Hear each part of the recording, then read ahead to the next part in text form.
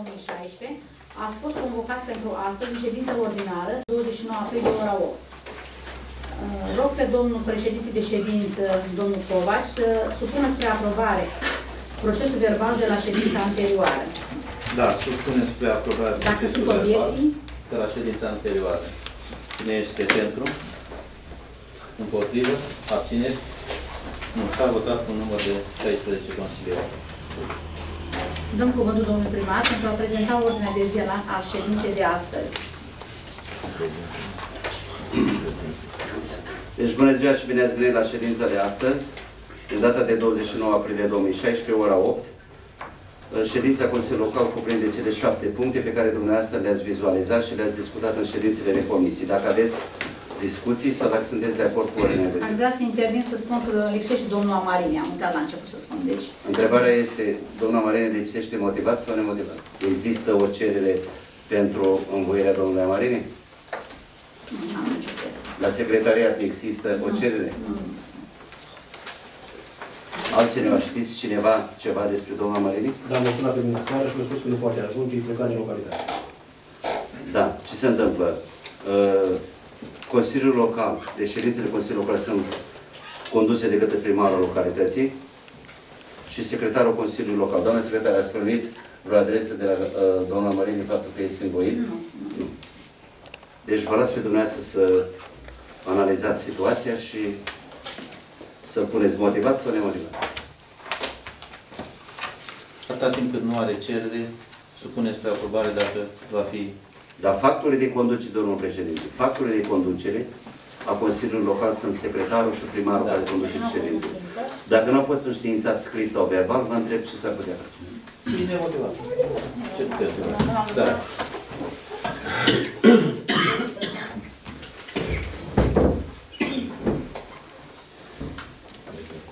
Trecem la punctul numărul 1 a ordinei de zi.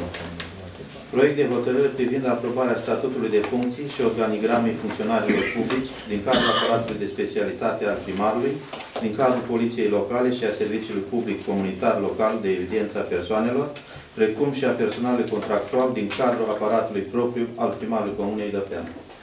Da. Domnule primar, aveți. Deci este vorba despre statul de funcții. În data de 8 a 2 a 2016 am primit de la Ministerul Afacerilor Interne, instituția prefectului județului Bacău, faptul că ce- uh, statul de funcție va rămâne la nivelul anului 2014. Scrie destul de clar. Anul 2014 se menține și pentru anul 2016. Deci statul de funcții în primăria Dofteana rămâne la nivelul anului 2014. Toate funcțiile publice pe care le avem în uh, cadrul aparatului de specialitate, la evidența populației, starea civilă, uh, poliția locală, rămân la fel la același nivel ca în anul 2014, inclusiv în anul 2016. Dacă aveți discuții dumneavoastră despre așa ceva. Da, trecem spre aprobare. Cine este pentru? Dacă nu sunt discuții. Cine este pentru? Împotrivă? Abțineri? Da, s-a votat cu număr de 16 consilieri.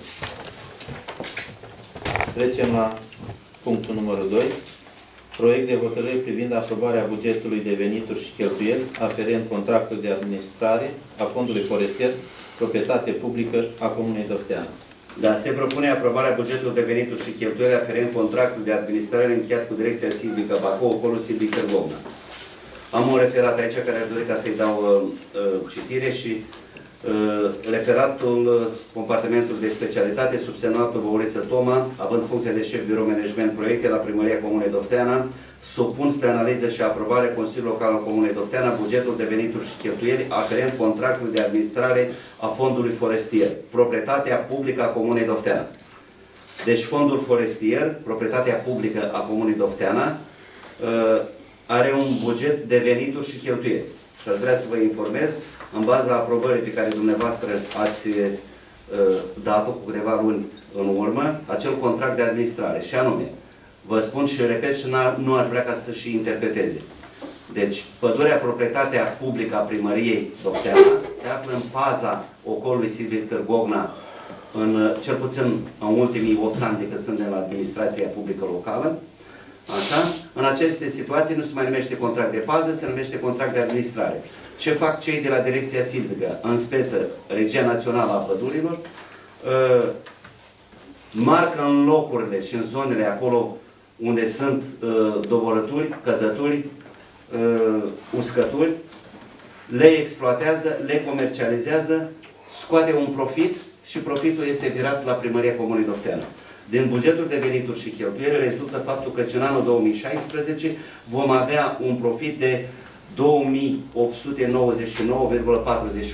În bani vechi aproape 300 de milioane care ne vor intra în bugetul local al primăriei Dofteana și avem obligația, în conformitate cu legea și codul silvic, care a intrat în vigoare de la 1 ianuarie 2016, acești bani să-i depunem într-un fond, fond care se va folosi numai pentru, se numește fond de conservare, care el la rândul lui va fi folosit pentru plantații, pentru drumuri forestiere, pentru alte lucrări silvice. Dacă aveți discuții, vă rog.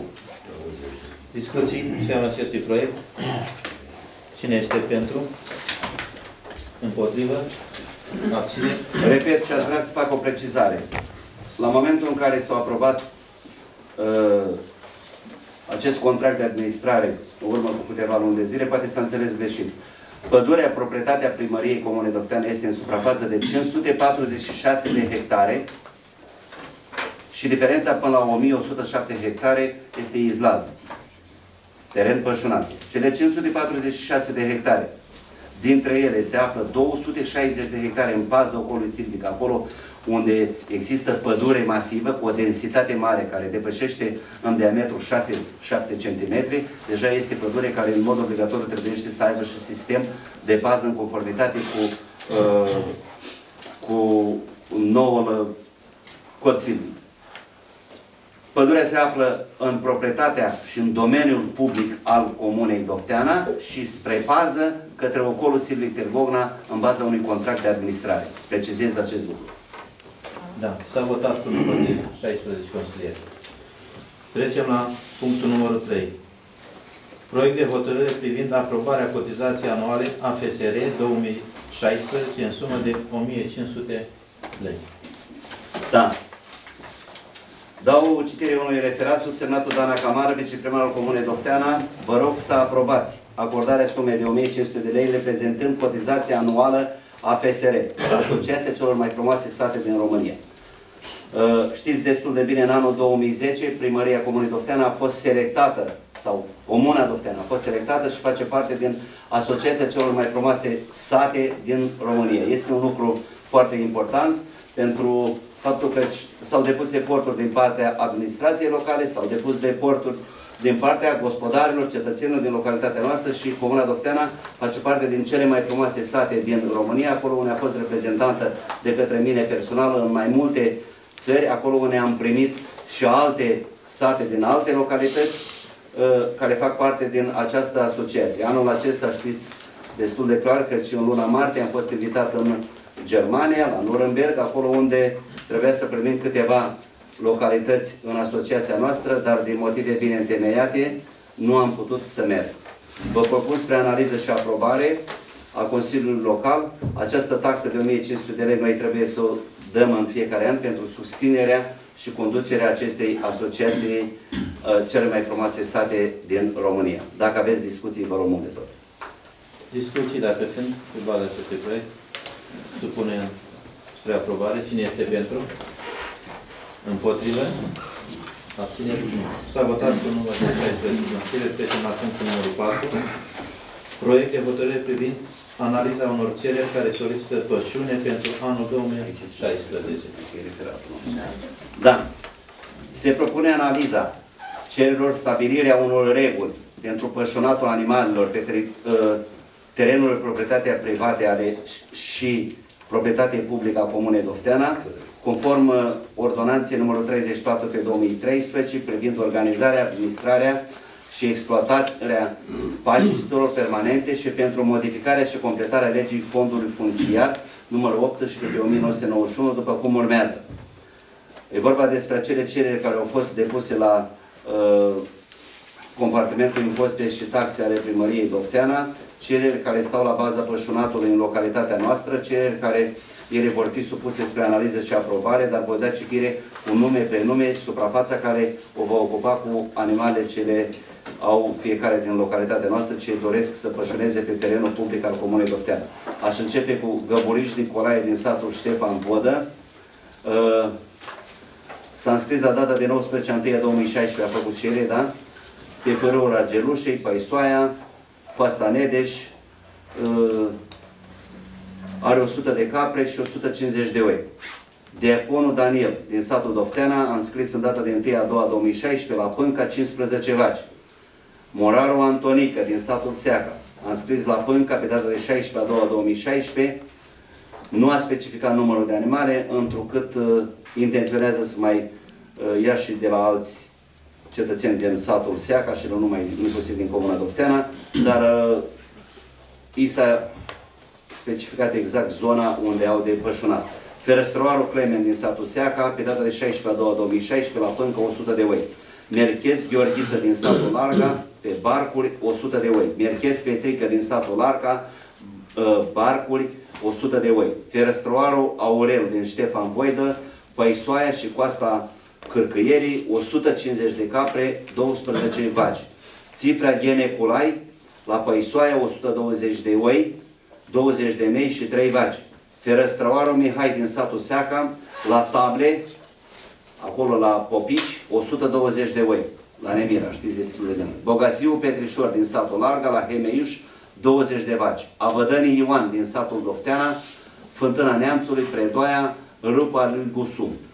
Uh, un număr de 180 de oi și 50 de capre. Bucur Nevasile din satul Larga, care a depus 7 a 4 a 2016, în Hemeiuș, 68 de capre. Deci, în funcție de cerere care le-a depus fiecare dintre dumnealor, pe aceleași suprafețe care au fost și anul trecut, aceleași număr de animale, sau poate au mai multe, inclusiv poate chiar și mai puține, au depus cerere, cererile se află în mâna noastră, au fost studiate la uh, impozite și taxe, în baza hotărârii Consiliului Local pe care dumneavoastră ați dat-o în luna lui noiembrie anul 2015, rămân impozitele și taxe la același nivel cu cele care au fost inclusiv în anul 2013, 2014, 2015, la fel rămâne și în anul 2016. Dacă aveți discuție cu privire la, la acest proiect, bineînțeles, aici nu sunt trecute vacile care sunt în fiecare sat, începând cu Bogata, Ștefan Vodă, Haideac, Larga, la Cucuieț, nu putem să discutăm despre așa ceva, acolo se află proprietatea privată a cetățenilor din localitate și nu discutăm despre impozite și taxe cu privire la pășunat. În schimb, cetățenii care merg cu animalele la pășunat în celelalte state au obligativitatea cu privire la uh, ordonanța 34 pe 2013 să împăce aceste animale uh, începând cu data de 10 mai, odată cu plecarea lor la pășunat în munte. Dacă aveți discuții, vă frumos. Discuții pe seama acestui proiect? Dacă nu sunt discuții, trecem spre aprobare. Cine este pentru? Potrivă? Abține? S-a votat cu număr de 16 consilieri. Trecem la punctul numărul 5. Proiect de hotărâre privind aprobarea achiziției de instrumente muzicale în vederea înființării și organizării unui grup muzical format elevi cu talent muzical. Da, se propune finanțarea de la bugetul local pentru achiziționarea de instrumente muzicale stative pentru partituri și accesorii necesare instrumentelor muzicale în vederea înființării și organizării unui grup muzical format din elevi cu talent muzical din cele trei școli cu personalitate juridică. Deci propun spre analiză și aprobare ca de la bugetul local al Comunei Dofteana să dăm în bani vechi 100 de milioane acestor trei școli să achiziționeze instrumente muzicale și aș începe, noi avem o factură pro formă trimisă de la o fabrică de, care produce aceste uh, instrumente muzicale la Regen, în valoare de 100 de milioane de lei, acolo unde intră uh, vioară, chitară, uh, baterie, dacă zic Baterie, bine, bas și mai muzicuță, multe. muzicuță. Muzicuță. Uh, domnul profesor Gătu de la școala gimnazială Cucuieț și Larga, uh, dumnealui se percepe destul de bine, este de profesie, vrea să facă un taraf muzical, o fanfară cum era cândva odată.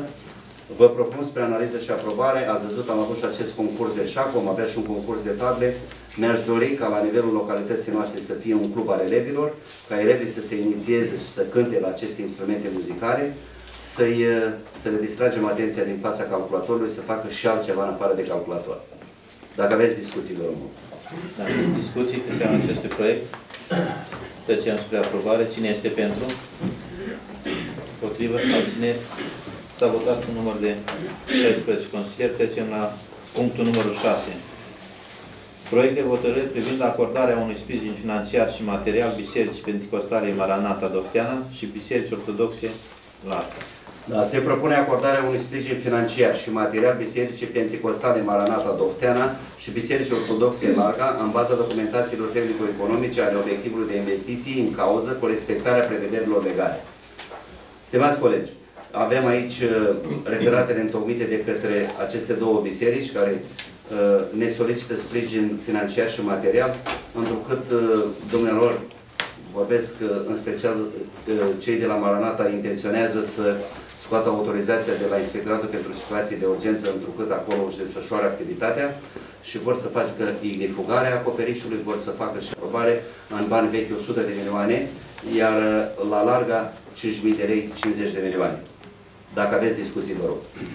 Discuții pe seama acestui Uitați-vă și vreau să precizez. Larga a fost începută capela mortuală în curtea bisericii, acolo unde nu este terminată și consider faptul că cu 5.000 de lei putem să luăm materiale de construcție, iar cu uh, angajații noștri de la primărie în regie proprie putem să finalizăm, să tencuim ce este în interior, să punem tavane de regip și să amenajăm pentru a, a putea să fie funcțională. Dacă aveți discuții, vă rog. Discuții dacă sunt, dacă nu trecem la vot. Cine este pentru? Împotrivă? Abțineri? S-a votat cu număr de 16 consilieri. Trecem la punctul numărul 7. Proiect de hotărâre privind acordarea unui sprijin financiar și material în sumă de 6.600 lei pentru familiile Cibotaru Cosmin și Cibotaru George Alir pentru realizarea unui zid de protecție pentru apărarea gospodărilor, precum și 4 metri cub beton, numitului Mitel Minel. Minel Codreanu din satul Larga, pentru reabilitarea intrării în gospodărire ca urmare a distrugerii în urma apelor pluviale. Da, se propune finanțarea de la bugetul local, privind acordarea unui sprijin financiar și material în sumă de 600 de lei, 6 milioane în bani vechi, pentru familie Ciubotaru Cosmin și Ciubotaru George Alin, pentru realizarea unui zid de protecție pentru apărarea gospodăriilor, precum și 4 metri cu beton numitului Minel Codreanu din satul Larga, pentru reabilitarea intrării în gospodărie ca urmare a distrugerii în urma apelor pluviale, ambii având situații deosebite de familie. Aș începe cu cei doi, Ciubotarul Cosmin și Ciubotarul Alin, care știți că stau în cartier dincolo podul, imediat pe dreapta pe uliță. Uh, S-o muiat datorită ploilor, a venit mai multe stânci, a venit până în perete de case și a distrus o parte din gospodărie. Există poze, s-a deplasat comisia la locul faptei, a solicitat uh, 120 de bolțari din beton, 7 saci de ciment care însumează până în 600 de lei. La domnul Minel Codreanu din satul Larga, faptul că am turnat acest strat de uh, uzură asfaltică, dumnealui și așa locuia, era destul de diferență mare de nivel într-o groapă, practic, era impracticabil să poată să mai iese din curte în condițiile în care are un picior amputat în urma unui accident, iar fiul dumnealui a avut un accident de tren și are ambele picioare amputate. În aceste situații am achiziționat deja în regim de urgență 4 metri cub de beton, în regie proprie cu angajații primăriei, i-am făcut să fie practică și normală intrarea și ieșirea din curte. Dacă aveți discuții pentru această investiție. Discuții dacă sunt. Cine este pentru? Împotrivă? Abțineri? S-a votat cu număr de 16 consilieri. Da. S-au epuizat uh, toate Da. uh, punctele de pe ordinea de zi. În calitate de primar, conducător al uh, Consiliului Local, aș vrea să vă informez cu investițiile care vor sta la baza uh, bugetului local al Primăriei Comunei Dofteana. Imediat după ce trece Sfintele Sărbători de Paște, ne vom apuca de asfaltat drumul din satul Bogată pe o lungime de 1250 de metri, dacă zic bine așa, pe o lățime de 4,5 metri în funcție de configurația terenului. Autorizația de construire va fi eliberată pe data de 4, dacă zic bine, cred că miercuri va fi data de 4. Imediat, tot miercuri, vor începe lucrările de construcție la podul care face legătura, trecere peste râul Trotuș, care face legătura dintre DN12A și satul Larga.